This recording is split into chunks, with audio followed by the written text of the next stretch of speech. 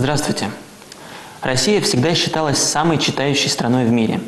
Однако большинство современных родителей обеспокоены тем, что дети не хотят читать. Да на самом деле детей можно понять, учитывая их плотный учебный график. Как привить ребенку любовь к чтению? Поговорим сегодня в программе «Актуальный комментарий». Мой сегодняшний гость – протерей Василий Геливан. Батюшка, добрый вечер. Добрый вечер. Вот скажите, чтение – это все-таки удовольствие или это труд?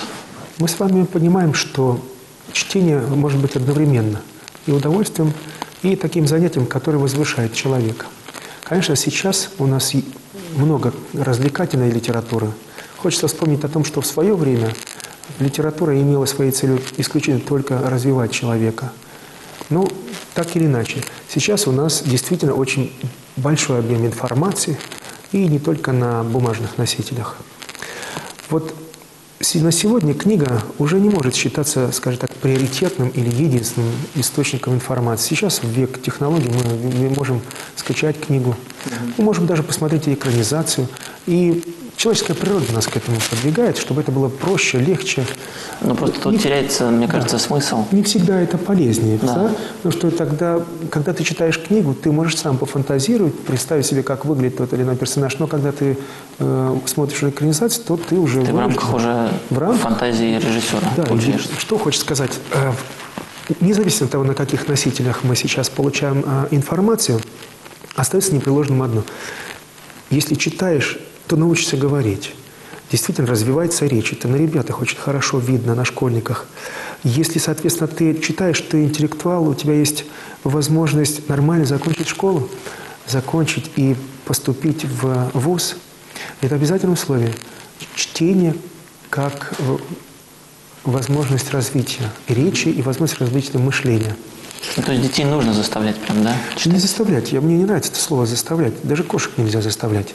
А уж человека тем более. Нужно аргументировать. Знаете, есть такое у психологов понятие. Вот что такое лень, спрашивают.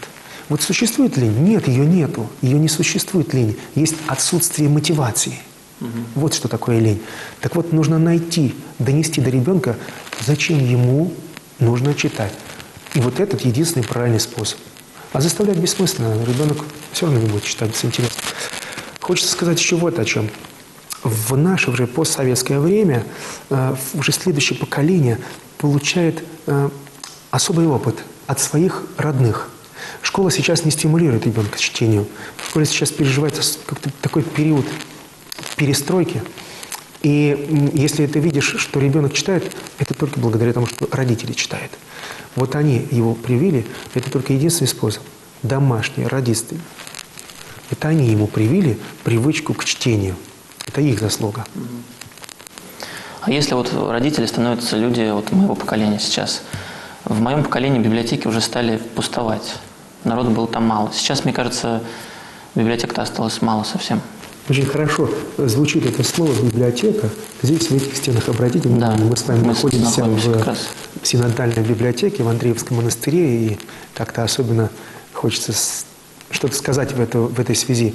Библиотека, она имеет ценность непреложную. Ведь в книгу приятно взять в руки. Вот я, я как раз начал о том, что мое поколение, оно, оно уже стало меньше читать. И получается, что вот эти родители современные, они уже детям это но, может быть, даже не понимают, что это нужно привить.